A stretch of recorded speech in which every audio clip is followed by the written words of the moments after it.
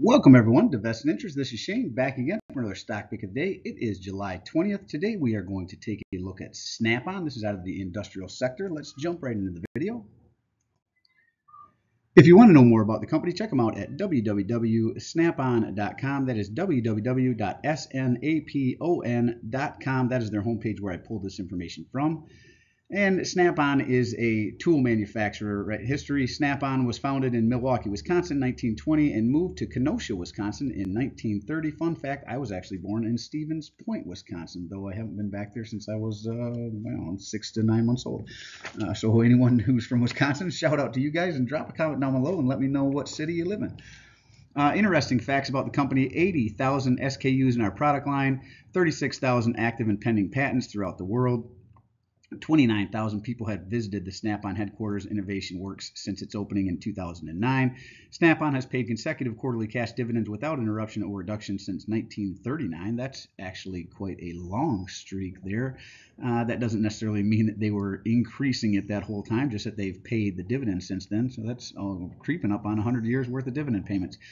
Employees, 12,900 associates worldwide. Sales, net sales of 4.5 billion last year in 2022 a global reach. So, a global company, obviously, they sell all over the world, serves customers in more than 130 countries, 4,725 mobile stores worldwide, more than 3,400 franchise vans in the United States. And if you've seen them, that's what I see the most is their vans driving around where they kind of show off their tools.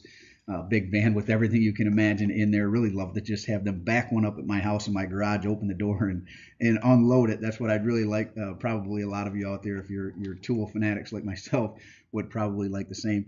We have manufacturing, warehouse, distribution, R&D, and office facilities throughout the world, including 13 manufacturing facilities in the United States. So pretty large brand here. Uh, again, out of the industrial sector, they do make tools. That's their bread and butter. www.snapon.com is their homepage if you're interested in knowing more about them. Now, for what we're here for, we are talking about Snap-on Corp Incorporated ticker SNA out of the industrial sector, and they were down 7.33%. Huge drop on the day. Closed the day out at $272.74. Anytime again I see a big drop like that in a company uh, like Snap-on that pays dividends, I'm going to take a look to see if we can find value there or if there is value presenting itself. 52 week range as low as $200.75, as high as 297 and 26 cents. So this one, just like yesterday's Omnicom, is really, even though a big drop on the day, still closer to its 52 week high than its 52 week low.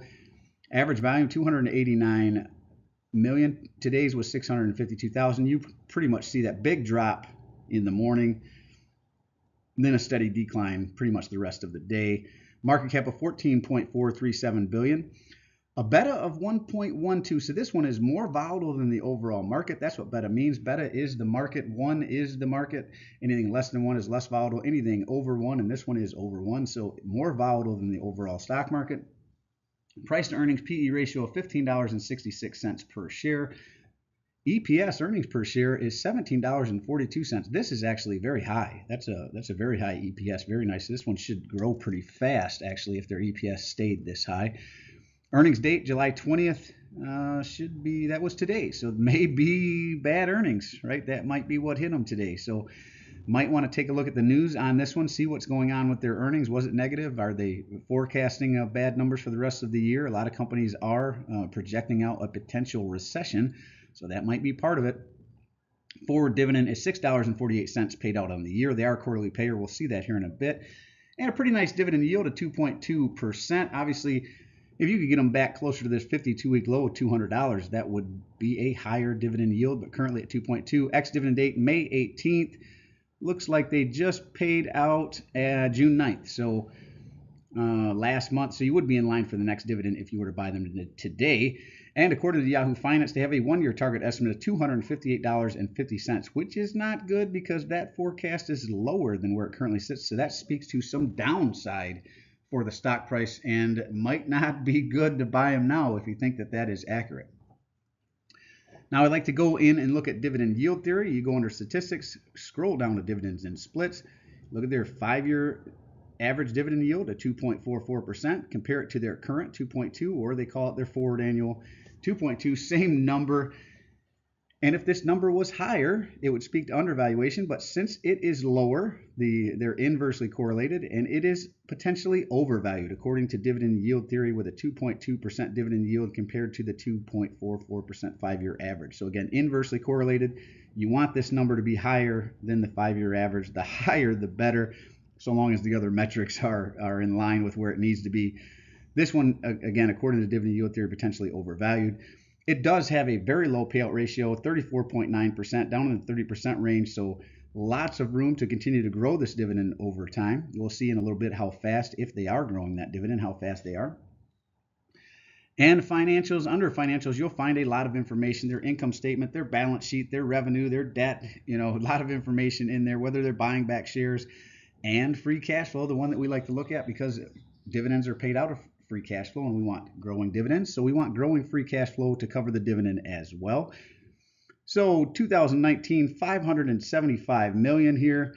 And I know that's only 575,200, but it, it, realistically, if you go into uh, Yahoo Finance, it, this is million. You just add three zeros to it. There, there's they state that in there. You'd have to read and see that. But uh, free cash flow 575 million in 2019. 2020 up to 943. Now, here's where things go a little wonky. From 2020, it dropped in 2021 to 896. Not a big drop, but then a even bigger drop from 2021 to 591 million. So, declining free cash flow from 2020 to 2022.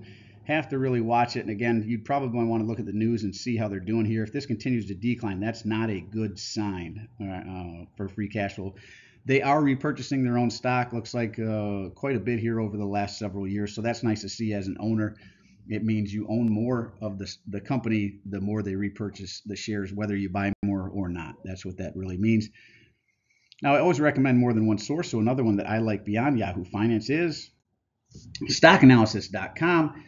And I always recommend more than one source so you can back check the information that you're getting is accurate. And according to the five stock analysts that have taken a look at this, they call it a consensus buy, but I'll be honest, this one to me is not a consensus buy. And I'll just based on the projections out there from Yahoo Finance at the 250s and, and where it sits at 272. And their low estimate here is $240, which would be a 12% decrease in the stock price. And I surely would like it better at 240 or lower. To be honest with you, I would love it to pull back closer to that 252 uh, week low there. So somewhere between 240 to 200 is where I would look at this. I would not be interested at the current price. I think it's a little elevated, a little high, and dividend yield theory would agree with me on that one. Now they have an average estimate $288.40 would be a 5.74% increase in the stock price. And if it happened to hit their high of $328, that would be a 20.26% increase. All the while, you could collect that 2 plus uh, percent dividend yield along the way if you were to buy them now. Now, another one that I like, again, a lot of the same information, same information actually, financials, you'll find their balance sheet, their income statement, their revenue, their debt, statistics. I like to look at return on equity and return on invested capital. You'll also find their margins there, uh, forecasted EPS, growth, some other numbers there, but these are some metrics that I like. So return on equity with like 10% or better, they are at 21.3%. Smash is what we look for. And their return on invested capital, like 10% or better here as well. 24.8 percent. So smashes both of these numbers. Great return on equity, great return on invested capital. Uh, EPS looks really good. The only thing I feel is it's just a little overvalued. Again, let me know what you think down in the comment section below. Is this in your portfolio? Uh, do you feel it's overvalued? Are you buying it now? Are you waiting for more of a pullback? Let's take a look at the dividends. And again, payout ratio, this one says 37%. Yahoo Finance said 34%. Either you could split the difference, call it 35%. Either way, it's in the 30% range, uh, which is, again, very low. They have plenty of room to continue to grow the, the dividend, pay down debt, reinvest in the company, whatever they want to do. Plenty of room here to uh, uh, accomplish all three if that's what they wanted. And very, very nice dividend growth, 14.39%. This is a fast grower here. And with the payout ratio in the 30% range, lots of room to continue to grow. So if they continued this, this one would be a nice compounder here if you got it at the right price. So would be worth throwing on the watch list. This is one I'm interested in at the right price. You can see 2020 they were at a dollar eight. Uh, in May, in November of 2020, they raised it up to $1.23, rode it through November 18th of 2021 to $1.42, $1.42 to November 18th, 2022, $1.62. So I would expect either their next payout or the one after for them to raise it up again if they continue this dividend streak. And again, they've been paying for almost uh, you know a hundred years, so I would think that they're going to continue to uh, raise that dividend, at least continue to pay it out. With the 37% payout ratio, I'd like to continue to see them uh, raise that dividend over time. We're on the watch list here, just a little elevated in the price, in my opinion. Like I said, back in 240 or under, I think I'd probably be interested in this. Might be worth throwing on the watch list. Let me know what you think of Snap on down in the comment section below.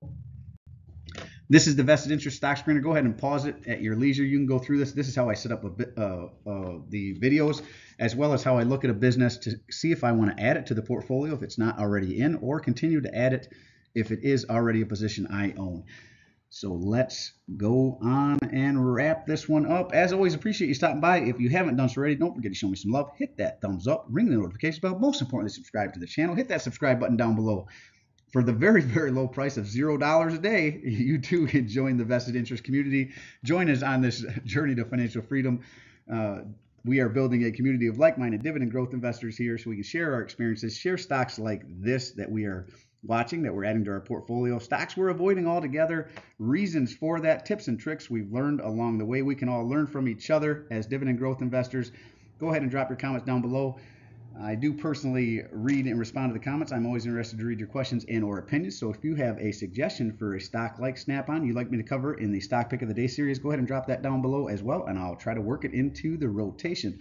This is Shane signing off, wishing peace and prosperity to you and yours. And remember, financial security comes to those who take a vested interest. Thanks for stopping by, and we'll see you in the next one. I'm not a financial advisor. Nothing in this presentation should be considered financial advice. I'm only sharing my opinion and investing journey for educational and entertainment purposes. Investing involves risk. You can and should never invest any amount not comfortable losing. Always do your own research, invest based on your situation, circumstances, and select criteria, or seek the advice counsel via a certified financial advisor.